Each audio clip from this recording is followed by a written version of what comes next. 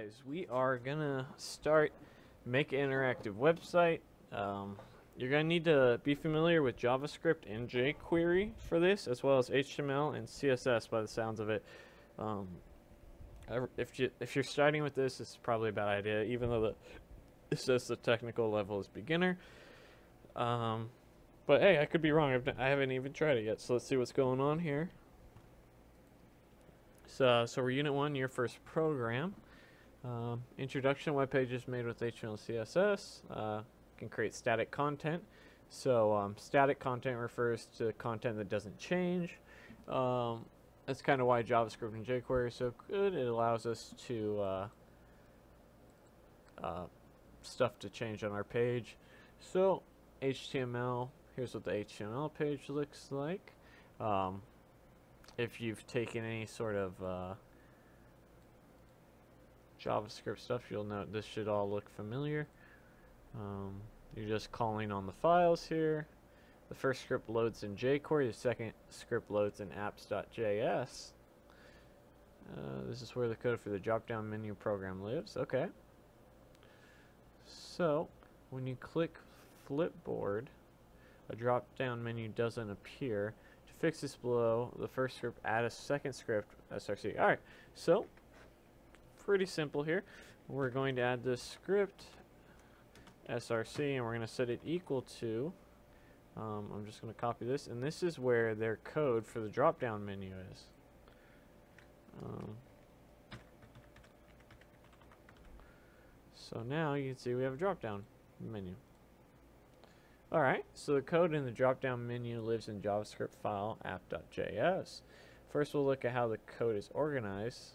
So, so this should all look, you know, we have a main function here and it does some stuff with our event handler and document document.ready main. Okay? The code starts with a Java function called main. Functions a set of instructions that tells the computer what to do. And then we run it, our main function in the document dot, dot ready. So the main function is made up of three parts. First code selects a drop-down toggle. So alright, dot drop-down dash toggle. This is a parameter, uh, ID, uh, ID or class. I forget what the dot is.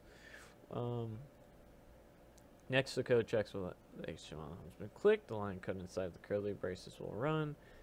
Uh, Drop down and alternate between showing and hiding term toggle. Alright, so toggle is probably built into the JavaScript library.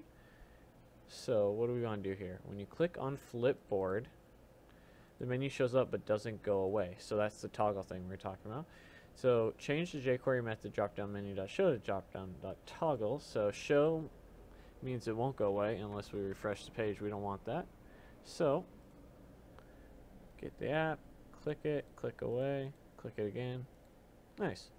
So pretty, pretty, pretty simple so far. So the document ready waits for the HTML document to load completely before running the main function. Okay. Oh. Alright, so this is going to trigger drop down menu when the flipboard is clicked. However, the program has four mistakes that prevent it from working. Fix these to work. So var function, var main, drop down dot toggle, So what's going first thing first, let's I'll check the brackets. That all looks good. Document dot ready main function.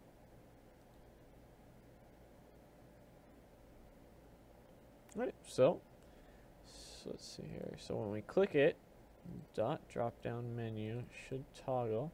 So let's go back a page and take a look. Alright, so the click is a needs a function as well. That's what it looks like. So when the click is saying, look, we need it to do some stuff, you also need this function here to do some stuff as well. Where does this go?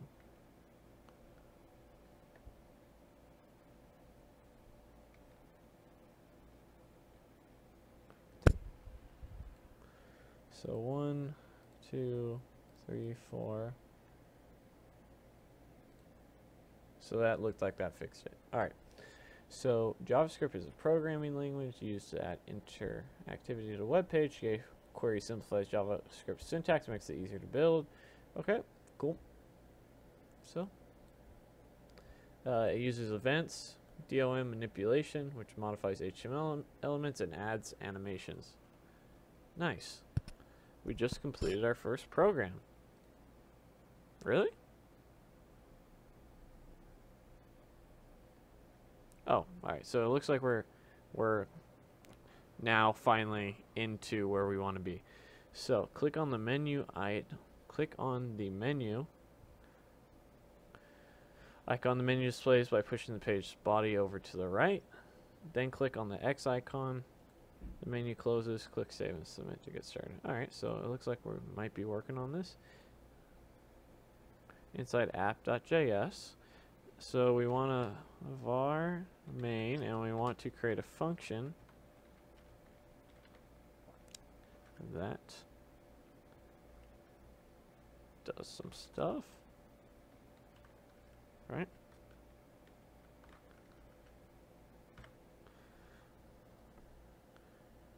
Leave the function's code block empty. Alright.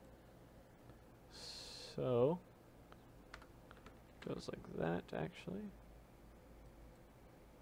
And so we're not actually doing anything with that. Uh, use jQuery to run the main function once the web page has fully loaded. Yeah, so that's correct. And then we at, we also want to tell jQuery to load our document. Already. And then we want to call main on it as well. Not too bad. So find the main function. There it is. Uh, use jQuery to select the class icon menu. Alright, so remember,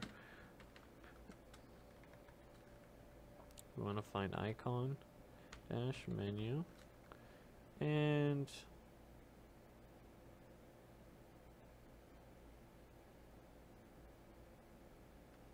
oh yeah forgot the period so are we doing anything with this or how how would they want us to do it yeah so it looks like we just need to have it like that. We're not actually having it do anything.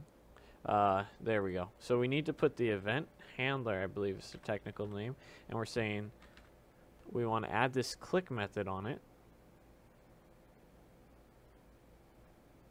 After add the dot click method.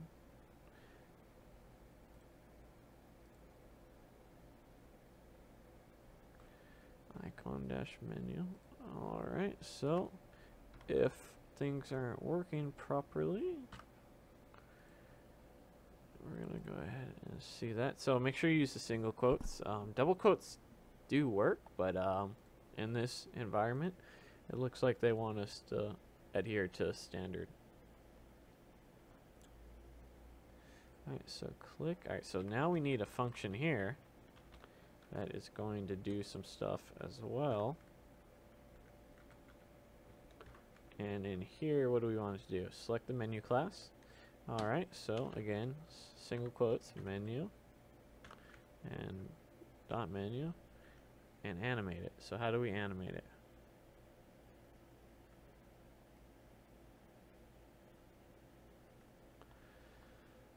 So is there a dot animate? Let's see here. Yeah, there's a dot animate.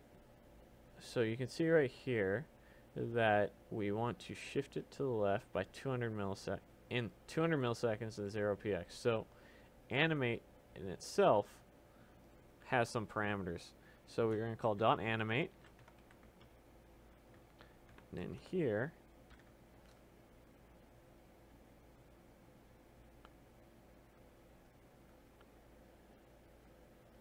I'm a little confused as to why the brackets are like this, but it probably has to do because we're messing with um, with um, cascading style sheets. Um, I'm still somewhat new to jQuery. I kind of have fallen in love with it recently. I think it's a great resource. So let's see if we can do the second one now. So this connects with this. So that is our menu animate. So we moved it to 0 px and make this happen over 200 milliseconds. What else?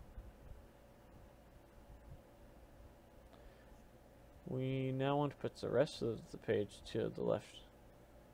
Alright, so in our click function, if you ever get lost about where this needs to be, just go ahead and see where you're at because we don't want it to move no matter what. We want it to move on click, so it has to be in between here.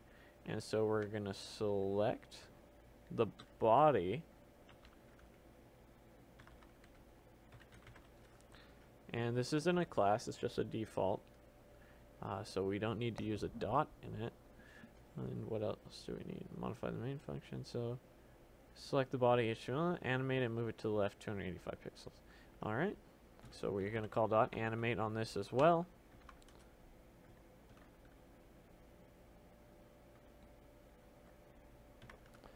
And we want to do it over 200. Comma. And we want it to move it to the left by 285 pixels. Now it may turn out that we need to, oh this looks correct. I was going to say it may need to be 200 negative 285. But so far it looks like it's working. And then when we click again, oh, so you can see right now it's only moving to the left. We haven't actually set anything here to move it back. So that's what we're going to probably do next here. So the menu appears to be pushing the body over to the left. Cool. Click the X, try to make the menu move. Nothing happens. Save and submit. Alright, so use the jQuery to select icon.close element. Alright, so we don't want to be in there. We want to create a new fun a new thing here. So we are going to select dot icon dash close. And we want to call animate on it. And at this point we're kind of familiar with this. So how fast do we want to do it? We want it in the same time frame so there's 200 and what do we want to do here uh, we want to move it to the left by negative 285 pixels so let's go ahead and save and submit see, icon dash close. So make sure our brackets are good here. So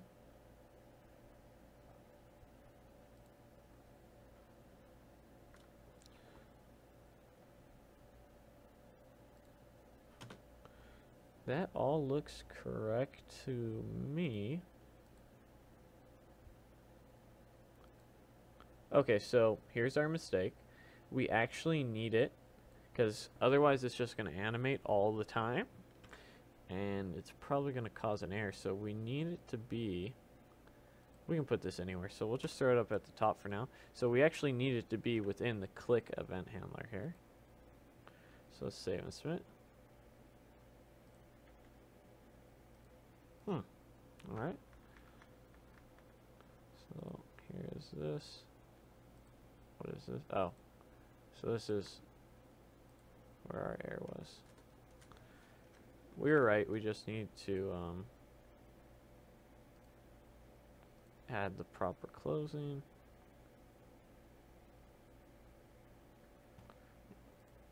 There we go. So we added one too many brackets. So now it should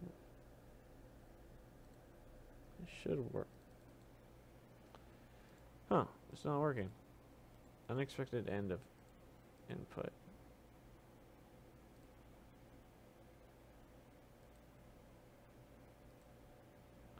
So let's actually go back because it looks like it's accepting our code, but there you go. No. So let's track our code here. It, seemed to work, but our code no longer is. So work our way through.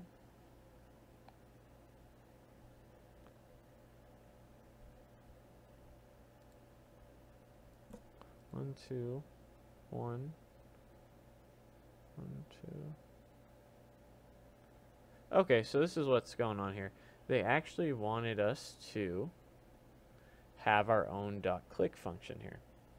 So you can see right here that when we click icon dash close, um, they want it. That's why it would work, but it's not going to. So um, just save a little bit of time because we found our error. We're gonna go ahead and put this in here. But basically, what the what happened was is that we needed to call dot click again because we called it on icon dash menu and not on icon dash close. So this click is only referring to the menu and this one's only referring to the close. So that's where our error was there. Um, I'm not sure why our code worked, but hey, it did. so there it is.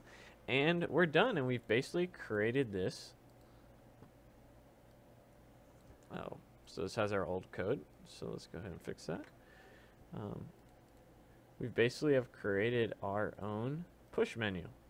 And it was it wasn't that bad. Um, so this might be something that you can, you know, put onto your website or anyone else's for that matter. It seems to be fairly responsive and I think anybody could do this. So up next for the interactive website, um, I will see you then, and uh, it'll probably just be a little more in depth, a little bit more jQuery. Um, but so far, it's not too bad. It's kind of giving us a little preview of what's going on, and we'll see what's going on there next. So thanks for watching. Comments, questions, concerns, anything constructive is always appreciated.